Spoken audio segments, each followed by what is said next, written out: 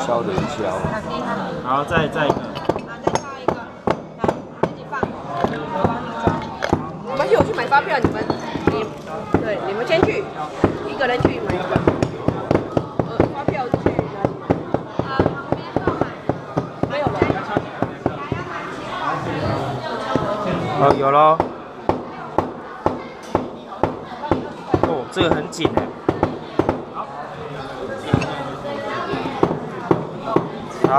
然后要袋子。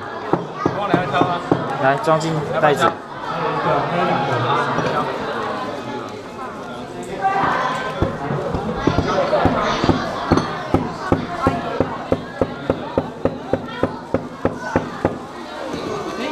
还有一个给妹妹，这个。好，走吧。哎，发票嘞？你的发票。好，谢谢。好。那你呢？走喽。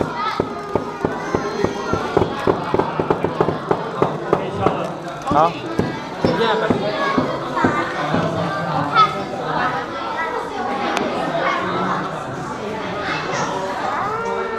妹妹也有一个哦。哎，她干嘛要哭了？这个。姐姐帮你用的哦。包起来好了。你有没有谢谢姐姐？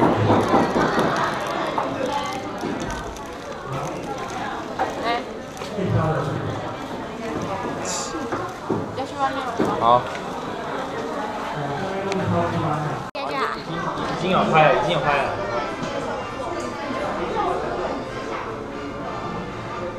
哦哦哦。嘿嘿，你好，嘿嘿，你好。好。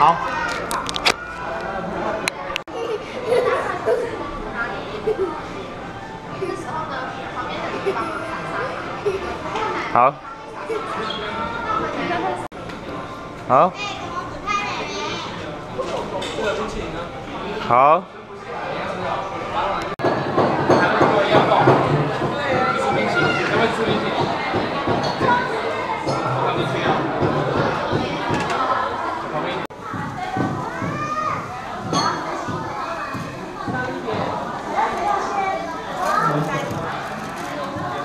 那这个餐馆呢，呃，是要主要主律师哈，主要是介绍我们学校他的一个使用原理。那还有呃体验的 DIY 哈，后面两个洗衣台，等一下呢在解说完之后呢，小朋友可以玩这个得到呃的这个洗衣的体验。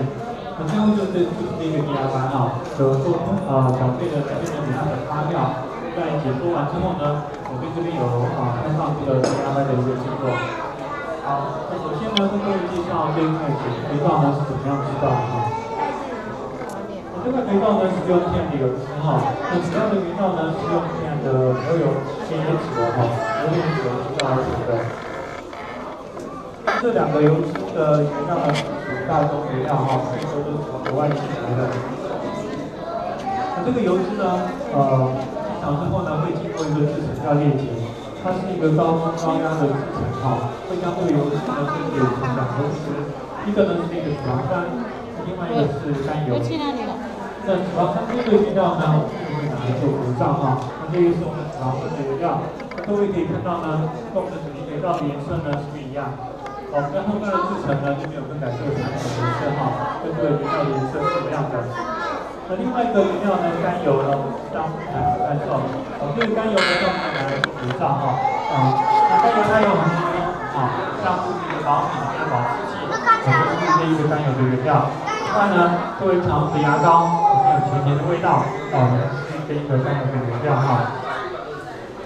那我刚刚提到，我有用到另外一个新鲜的油是这个椰子油哈，椰子油。这个椰子油呢，呃，尽量它的目的呢，主要是可以让这一块水晶肥皂，哦，它的起泡性会比较好。那起泡性好呢，就会将这个污垢呢清除掉，哦，促进在这个椰子油的一个功能。那另外这块肥皂呢，里面我们加一个是这个，松香哈，松香。这松香呢是从哪里来呢？从松树呢树皮分开之后呢，由这个树枝呢提炼出一个肥料。那我们今天这个松香的目的是什么呢？它可以达到呢深层清洁的效果，和帮助我们这个肥皂哈增强这个洗衣的一个吸力。那我们水肥皂呃都麻烦还在用它哈，这个时候因为它对衣里跟清洁过呢清洁效果非常好，啊，它跟这个创伤有相关哈，有相关。好。那我们原料准备好之后呢，会做肥皂哈。这个是我们想煮肥皂的一个画面。那这个锅子呢是有五米哈，五米，啊大概是我们这个长管的大小了哈。里面呢就是我刚刚提到这个油脂哈，油脂。那除了油脂之外还有什么？碱水哈，碱水。那油跟碱的作用呢，就是肥皂。那这个是呢，哦，呃，前面呢最早的一个啊清用品的一个制造的一个方法哈。各位看到这个画面呢，有这个热气哈，我们是用蒸汽加热，好，蒸汽加热哈，温度呢可以达到一百二十度 C，嗯，熬煮的时间呢要到七到八个小时。那现在水味道呢，里面有添加一个味道，有一个香茅哈。没有。这个是香茅哈，香茅差点点，应该在一块五十到里面吃的。然后呢，做的来呢。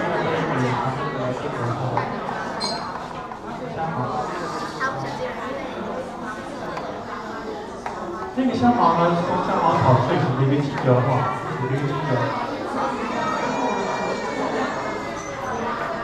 呃，香茅它带一点柠檬的味道哈，柠檬的味道。是我们这一块水晶肥皂呢添加的一个呃味道哈，味道。好，那我们添加这个味道之后呢，可以经过三段的加工。这个肥皂结构呢，变成紧实哈。这个是第一段的加工，肥皂的结构呢，本来很啊颗粒很粗哈，它经过加工之后呢，会变得很细致，然后呢，啊结构呢变得更紧实哈。你感觉有咖喱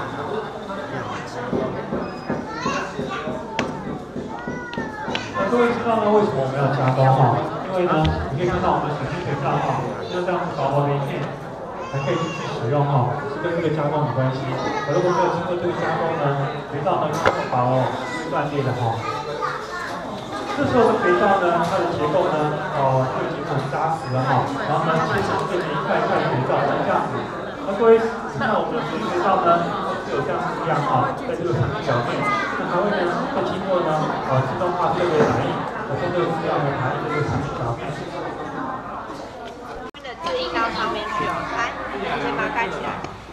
那怎么印呢？你就要拿锤子呢，像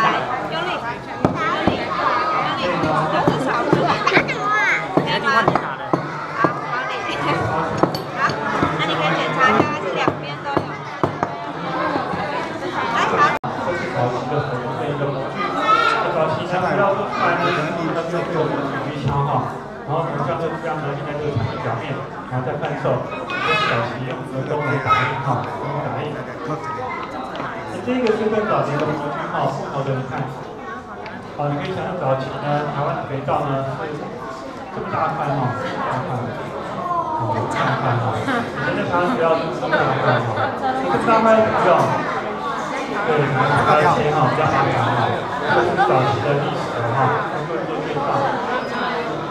好，那我们做做快速肥皂呢？我们做一体肥皂哈，这个是我们的一体肥皂。这肥皂呢就可以添加在洗面用，而且呢也都是新鲜的油哈。那有用到三种油哈，各位可以看后面有棕榈油、鲜花油，啊跟呢呃椰子油。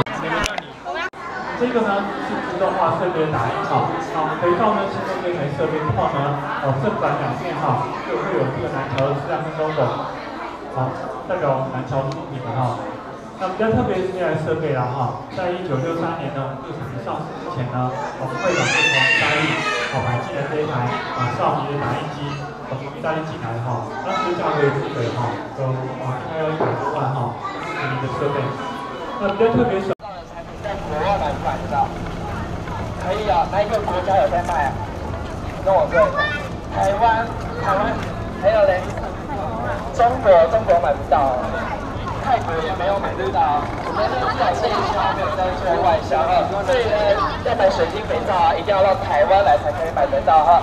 好，那我们待会呢进去体验室的时候，场馆比较小哈，里面没有洗手间，所以如果各位来宾呢，待会如果想要上洗手间的话呢，我们后方这边会有点小洗手间是最近的哈，就从这边的门进去哦。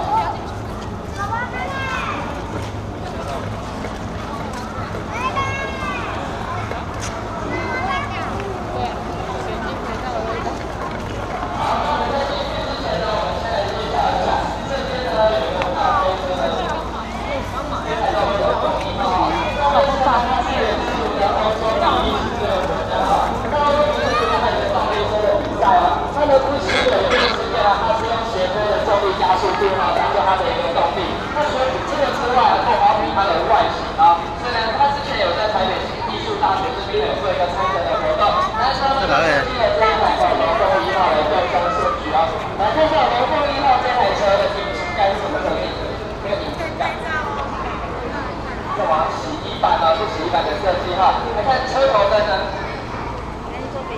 对对对对连排拉杆我看到四个轮子上面有对水龙头那四个轮子还有个是用不同的概念做的一个设计哈接下来我们来看一下驾驶座上面这两颗非常大块的水晶肥皂要不要说看看这个肥皂它是真的还是假的假的哦真的还是假的对它是真正的水晶肥皂哦我们是这完全的味道是从里面飘出来的哈，因为呢，水晶肥皂它其实呢，经过一两年之后，它的味道就会自然的挥发。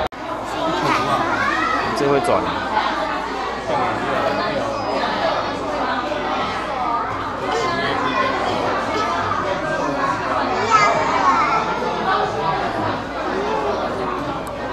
没有，那个不能玩。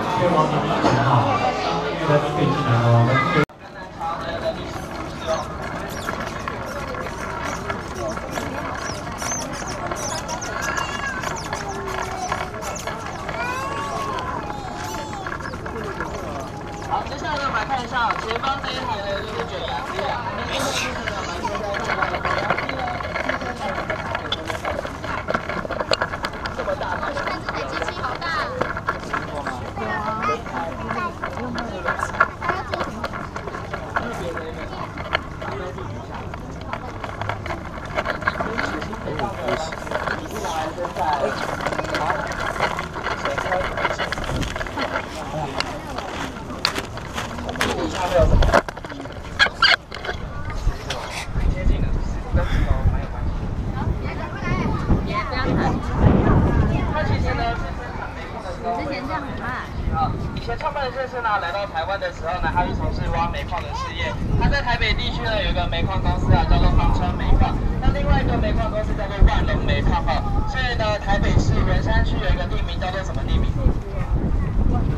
万隆煤矿跟方川煤矿，你会联想到哪一个地？万方，对，万方社区哦，万方社区以前呢、就是从煤矿、买煤矿的地方哦，它呢就是万隆煤矿公司以及方山煤矿公司合名而成的，现在叫做万方哦，万方地区的名字就是这样来的。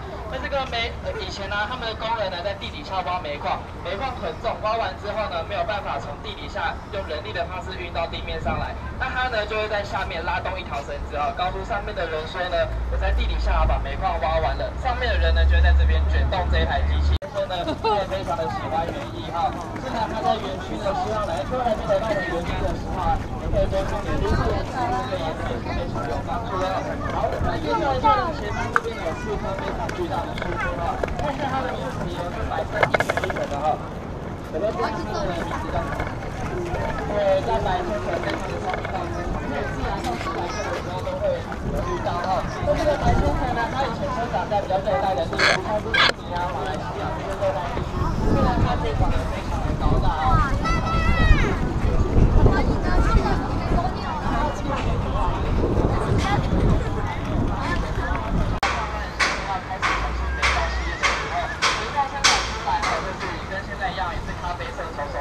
那当时的爸爸妈妈可能觉得呢，光丑丑的肥皂能不能够把我们的衣服。干净，所以呢，当时都还不太敢买哈。那么肥皂卖不出去，员工的薪水还是要发，所以后来呢，就把煤矿公司呢生产多少煤矿卖多少煤矿哈，全数呢都投资到了我们肥皂事业，所以才度过了当时的一个难关哈。所以呢，为了放在这边，就是为了要提醒我们员工啊，当初创业非常的辛苦哈，所以呢，希望员工呢有一个饮水思源的观念哦，然后希望呢，就是看到这台机器呢，可以想到当初呢，以前创业也是非常的辛苦哈。好，这个呢是我们卷扬机的介绍，待会呢也可以跟他拍照哈，因为呢他工作了蛮久一段时间了哈，那目前呢就在我们桃园厂区来做休息。像是椰子油、棕榈仁油等等，它呢会依照奶油比例的不同呢，会有不同比例的调配。调配完之后呢，它就会经过中间这边有个细细的管子啊，这个呢它叫做冷冻捏合机器。冷冻捏合机呢，它会释放出负二十度 C 的气体，那么奶油呢经过中间这边细细的管子，这一台，对，有看到 K 加工机前面那一台细细的管子，它就是冷冻捏合机，对，细细的管子，对。它冷冻捏合完之后呢，它就会开始移动哈，移动到后面呢，它这边会有一个调那个乳化槽，乳化槽乳化完之后，它就有点像奶油的一个样子了。奶油乳化完之后呢，它就会到上面这边哈，上面这边会有一个管子，来这边哈，我们往这边看呢，上面这边会有一个细细的管子，然后下来这边呢就是充填室哈，那可以看到呢，这个绿色它就有点像漏斗的样子哈，它这一打开呢，奶油就会一条一条流下来。这个绿色呢，它就是像豆豆的一个样子，打开之后呢，奶油就会一条一条流下来。那我们叔叔阿姨呢，就会在这边然后，它奶油都是一箱一箱包装的，包装完之后呢，它就会一直推推推推到后面的这边会有一个，就会开始要进行包装了哈。所以奶油生产的其实是非常快速的哈。那我们这边呢，一一天呢最多可以开两条生产线哈，待会让你们看生产线的是哪两条哈。那我们奶油呢来到这边之后啊，它就要进行封箱。那我们奶油呢是采用十字星的一个封箱。哈，可以看到呢黄色这台机器啊，它就叫做封箱。机。经过第一台的时候呢，它就会上第一条封箱；第二条的时候呢，它就会上第二条的封箱。所以呢，这边是看有一个粉红色的那台黄色机器，它就是上垂直的哈，然后这边黄色这一条它是上横的这样子哈。对，所以它是垂直跟横的，叫做十字星的一个封箱。好，那来到我们后面之后呢，来可以看一下哦。好，来到这边之后呢，我们就要进行堆放了哈。有没有看到这边有一个白色的机器手臂？有哈。那有没有觉得这台机器手臂看起来很像我们平常在路上会看到的哪一个游戏机器？对，怪手也很像，但是呢，我觉得它跟夹娃娃机也蛮像的哈。但夹娃娃机是不是你投币之后还要用摇杆操控它？对哈，这一台机器，这台机器不用投币，对。但是呢，也不用遥感操控啊，它会自动感应哈。奶油来到这边的时候啊，两箱，它一次可以夹起两箱的奶油，它可以把我们奶油呢堆放的非常整齐，误差呢不会超过零点五公分，它可以把奶油堆放的非常的整齐。放在我们旁边的这边呢，有一个蓝色的堆积区上面哈。好，来我们再往上往下走哈。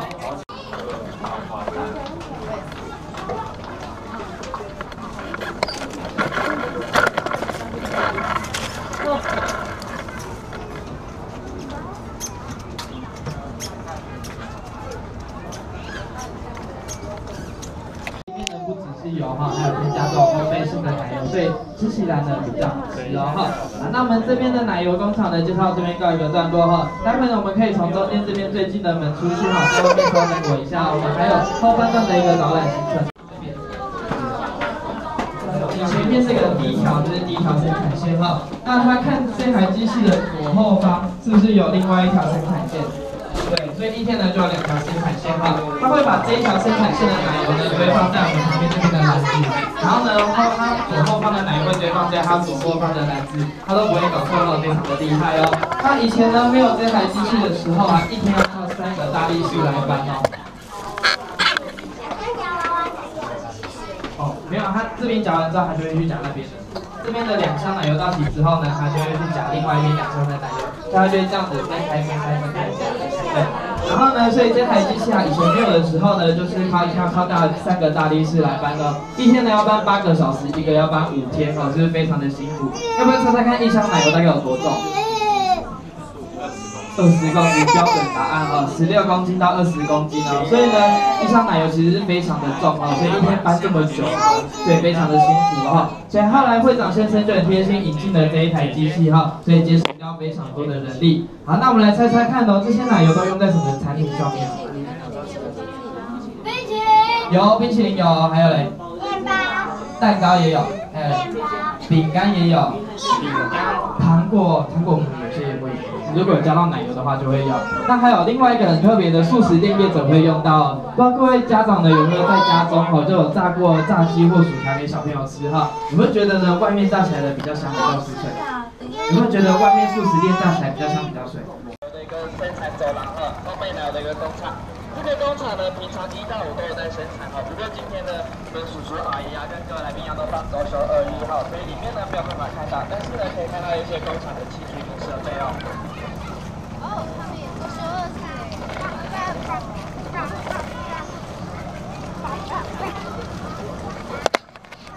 所以他其实当初创业的时候，不是随随便便就创立了这一家这家工厂哦，它其实是经过非常多的涉略哦，它涉略包含像是物理、化学、天文、地理、人人就是人文等等，还有人物传记哈、都是呢他平常有在阅读的部分哦。所以呢，如果各位小朋友呢想要跟创办人先生一样厉害啊，多读点书对自己是非常有帮助的，在通的哈。对，这非常以前古老的一个电话机了哈。好，在台湾有做贩售的哈。那不知道各位来宾有没有听过哈？在二十几年前的时候，有冰冰米果以及小厨师泡面这样子一个品牌哈。那其实呢，之前都是在台湾生产的哈。那我们二十几年前的时候，就把它通通移到泰国厂去做生产。啊，比如说这三个字是来自于哪一个国家的语言？意大利，看起这不太接近。俄罗斯，对哦，可以看一下呢，上面的包装还有它有样子哈，是俄罗斯的它的一个建筑哦。卡比索这三个字呢，在俄罗斯语还有盐汉面包的意思哈。盐汉面包呢是俄罗斯人的主食哦，所以如果当有客人来到他们家中的时候啊，他们就会当做盐汉面包来请他们的客人吃哦。所以之后呢，它就有一个延伸的意义哦，就是有欢迎还有庆祝的意思。那因为呢这样子一个美意呢，南桥就把它拿来当做既有的品牌哈。那为什么南桥会有生产制造冰淇淋的技术？因为啊，当初啊有个知名的品牌哈，四个字的来到台湾的时候呢，就是跟南桥先做合作的哈。那因为合约到期了，那我们南桥呢保有制造冰淇淋的技术，所以他就开发了一个自有的品牌哈。所以其实呢，你可以看到它的包装呢跟知名品牌其实是差不多的哈，就是这个原因啊。那我们里面的冰淇淋呢，它是不加任何一滴水哈，都是呢。就是都是用一般的原料，就是真正的原料所制成的。如果像是呢吃的是热带水果啊，像芒果口味的话，里面就可以吃到真正的芒果的果肉哈，都非常的新鲜。那我们在点水里面呢，还有的就像蜜糖吐司的 DIY，还有冰淇淋的 DIY。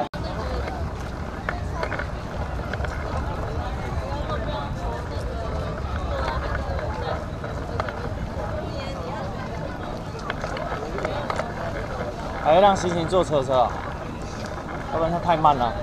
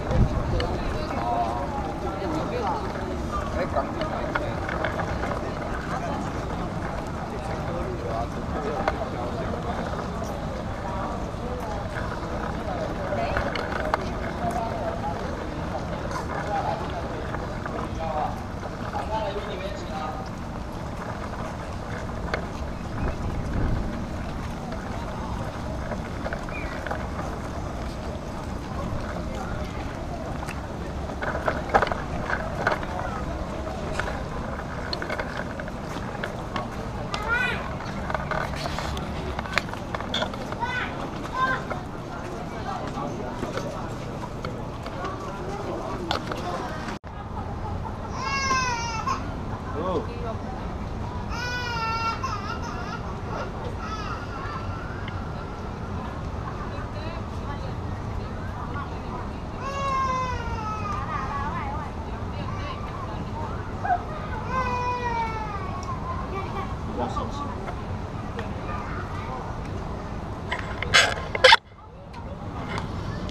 哇，会流了，还是要拿杯子来洗。直接挖一下杯子比较快嘛。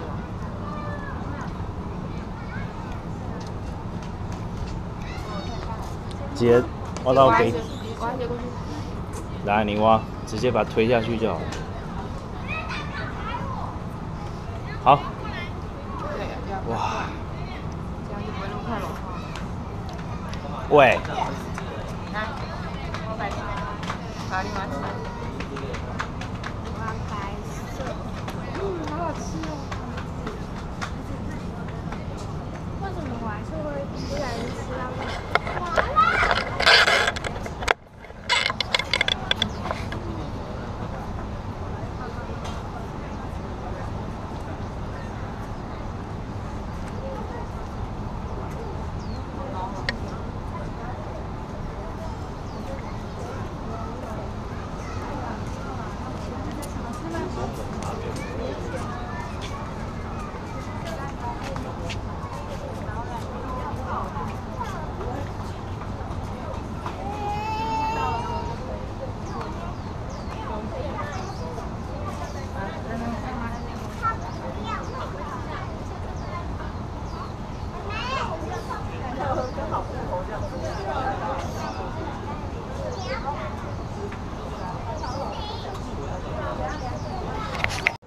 不要是要跟大口。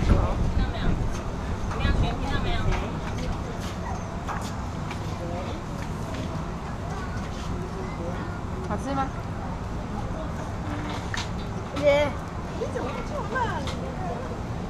妈妈，奶奶的嘴巴。好吃。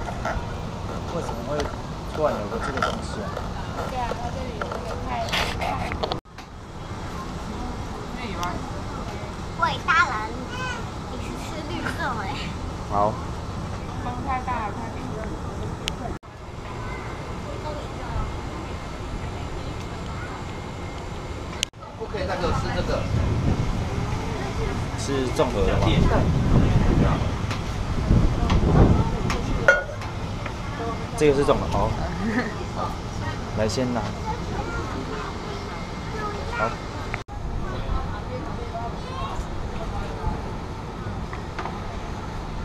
完成任务。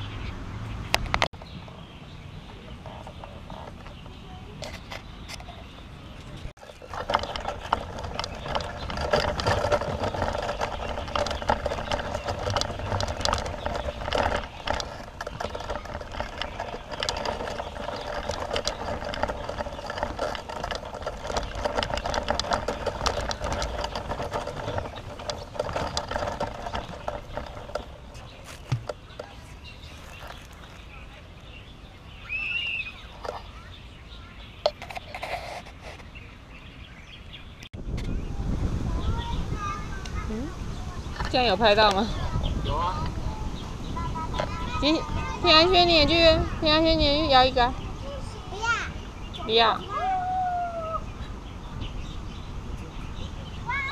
那个两人也超赞的。不要，但我在你们上面。好。那你要。跟我一起，你要。不要。跳上来？星星，说嗨。嗨。好玩吗？好不好玩？这个。嗯，你想玩那个？那是溜滑梯啊，但是不能玩。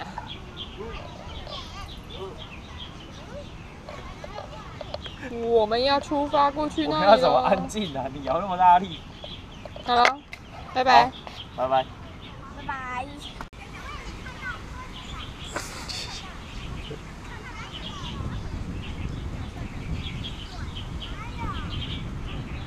要不要我帮你摇？